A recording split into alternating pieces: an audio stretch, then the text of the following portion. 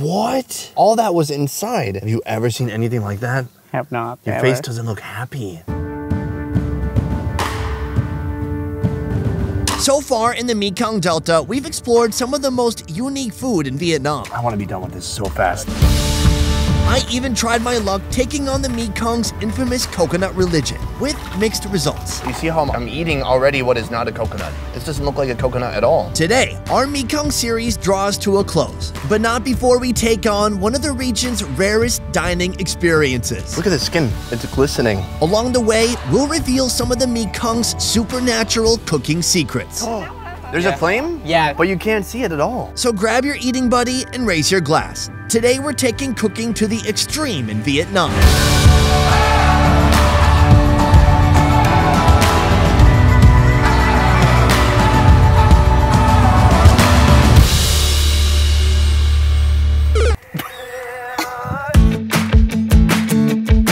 I hope you figured out by now that this show is about unique food, which can include menu items that are a bit extreme. Oh my god, look at that!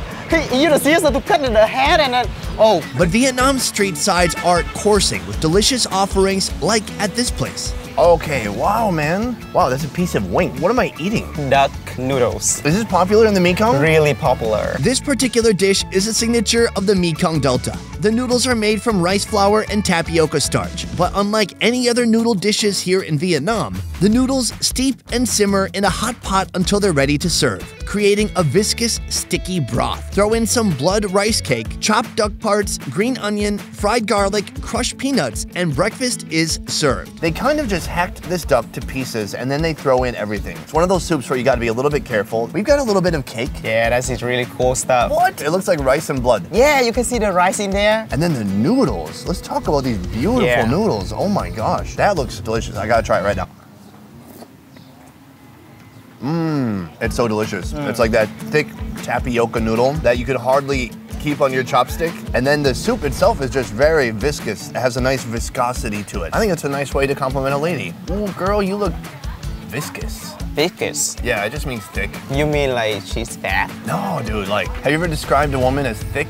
I have not ever. It's like she's got a lot of meat on her bones. Uh huh. Yeah. Wow, that's a new word. You could say it about a guy too. Okay, you you look thick. Yeah. Yeah. Okay. Okay, blood. Blood rice cake. You ready? Alright. Yeah, sure. Mm. Wow. Really sticky. Like a sticky, spongy, mm. but that is super unique. It doesn't taste bloody much, you know, mainly like sticky mm. rice. Yeah, exactly. Yeah. Dude, can I be honest with you? I don't think I'm cut out for this coconut diet.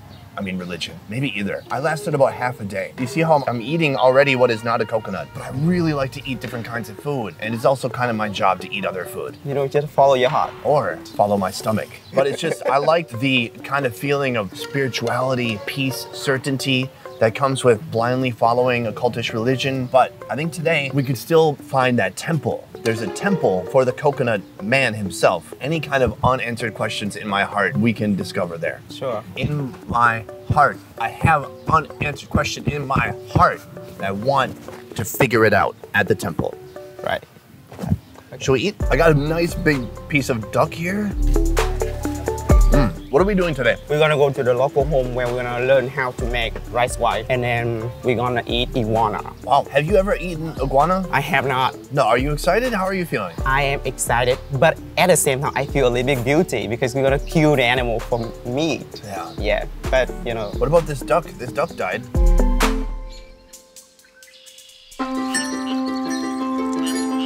Today, we are once again joining the guys from the YouTube channel Dan Da Mien Tay. I've been tasked with picking up some items for dinner. By now, I know this means something unusual awaits me. Laum and I are sitting down with a real exotic animal seller. Are all the animals here meant to be eaten? What are people not eating here? con nào mình cũng nuôi ăn thịt hết á even the python is also like for meat, and they can't get the skin for a wallet. Is that legal? It's legal actually. But they're being farm raised? They hunt them first from nature, and then they keep them in the cage and raise them. But then they actually like give birth to the baby ones, like the new mm. generations. Hunting and eating wild animals was fairly common in the past. During the Vietnam American War and without any ability to farm, eating wild game was a necessity. Do you ever pay any mind to what might be endangered or might not be endangered? Is that something you guys think about when you're hunting? He and his family are really aware of that. For those kind of animals that is restricted by the government and then they are not gonna hunt them. I thought we were coming here for an iguana, but it seems we've just upgraded to a water monitor. So he's in this giant cage. He's gonna try to catch one of them. He's grabbing one by the tail. They are just hissing at him. Oh my Oh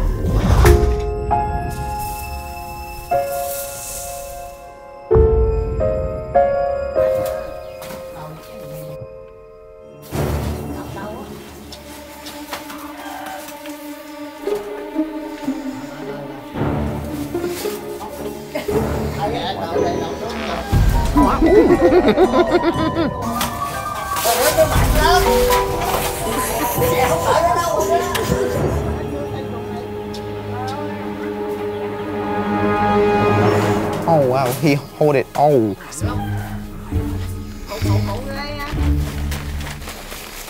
The monitor lizard weighs in at over 12 pounds.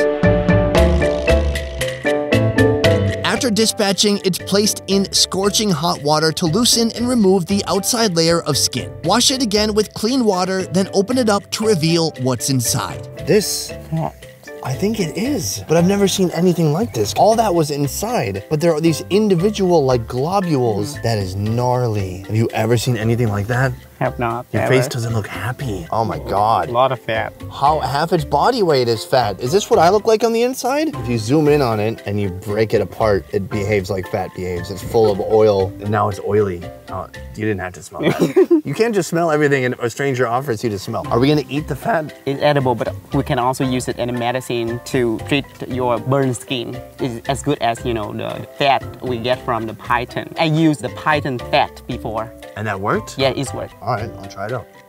later, later. The meat itself will be cooked two ways stir fried and grilled. First, break down the monitor piece by piece. Add in curry oil, five spice powder, turmeric, sugar, MSG, fish sauce, chilies, shallots, lemongrass, and galangal. Mix it up and leave it to marinate.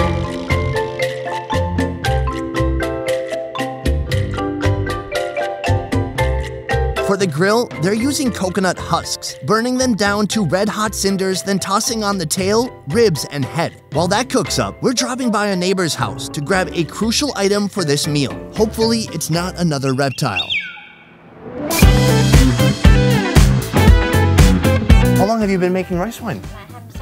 26 years. So you're pretty good at it. là nghệ nhân ấy. Is this illegal? này thấy cũng bình thường hả? Yeah, it's just normal. So yeah. the government doesn't care if people are just making tons and tons of booze on their own property, no problem. no restricted at all. Like if you like, you can do it. That's great. Vietnam. That's the kind of freedom I can get behind. I like that.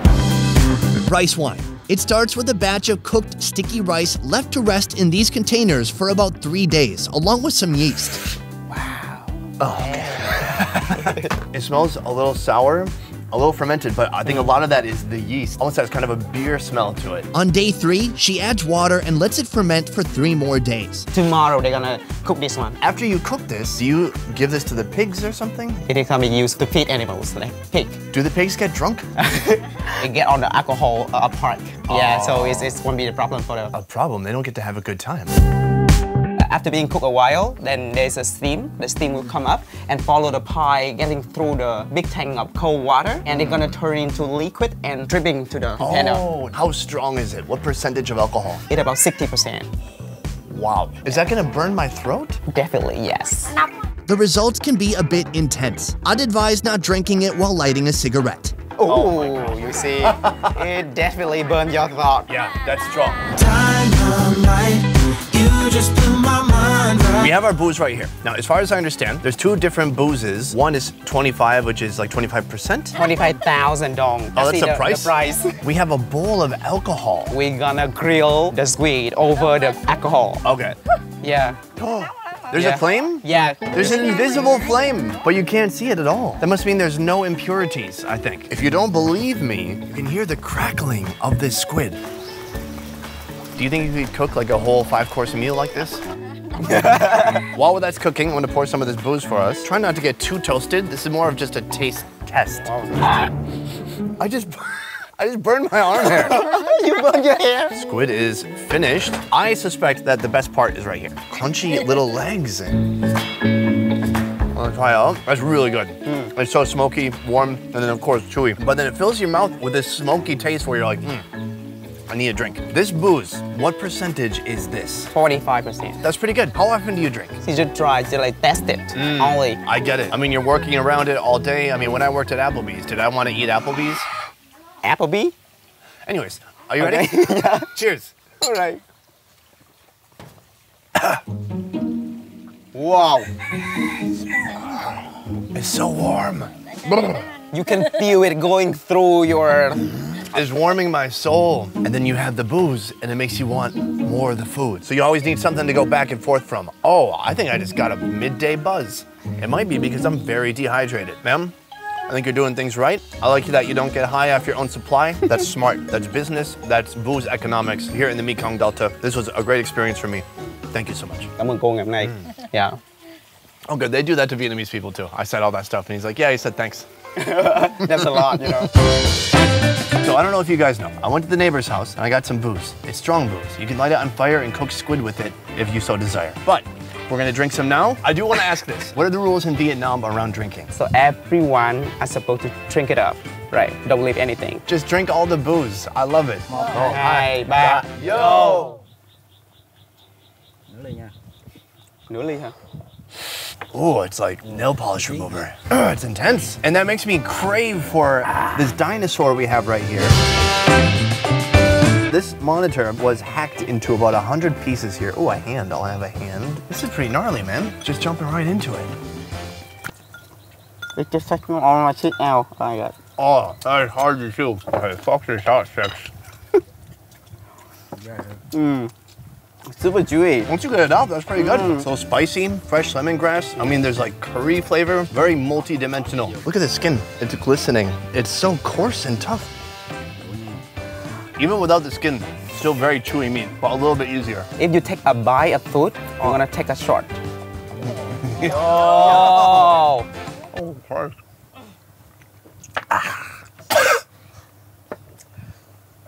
It's good. Thank you. How old are you? 19 19 years old. You can drink legally? 19 tuổi là cũng được. Yeah, that's okay. In the USA, we have to wait till we're 21 years old to drink legally. Right now, he's kind of stripping out the meat from the tail. Look at this. It's white meat. It almost looks like chicken breast. Huh? Whoa, that is very much like chicken. A little bit chewier. Mm-hmm. And it's not like chicken in the way that everyone describes a new meat as like, oh, it's like chicken. If you just snuck some of this monitor lizard in the fridge in a Cool Whip container after Thanksgiving, nobody would know the difference. A little bit of a dip. Oh my God. It's a fermented tofu sauce. That is delicious. It's like fruity, spicy, and sweet. Stunning. Mm. So delicious. So that, wang, wang, wang. Very good. Did you have to translate when I said ngang wang and you had to say it again but better? Cheers. Yo. Yo. Yo. Yo.